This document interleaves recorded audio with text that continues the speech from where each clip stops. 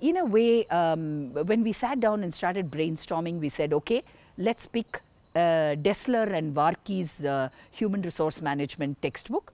And why that textbook? Primarily because I have taught earlier, I have used it, and um, I found that um, it does capture very eloquently uh, what are my perspectives.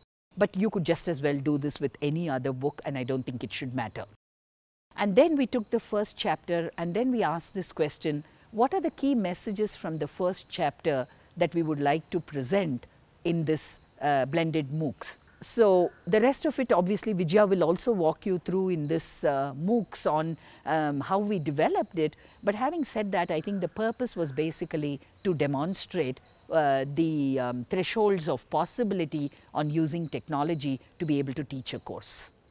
I think uh, one of the challenges for us as faculty members is how do you bring technology appropriately into the classroom in such a way that you still continue to deliver value, but at the same time the technology becomes an aid to make our sessions even more effective and engaging for the students.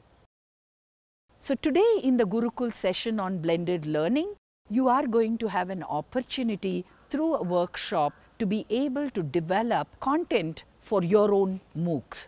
At that point in time, just reflect on one, how creative you can be in building course material. The second one, how can I bring uh, material which is outside of the um, course in a way that allows students to become more reflective and build critical thinking uh, in the classroom. I know that many of you will be constrained by the university dictated curriculum. And I agree that it is difficult to be able to do much of this in with given the kind of structure. But having said that, I don't think anything prevents us from being effective in what we are capable of doing.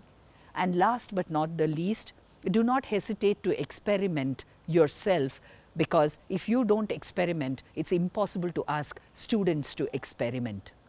I hope you will use this entire workshop and session to be able to take away on how to build a higher element of technology content into the classes that you teach.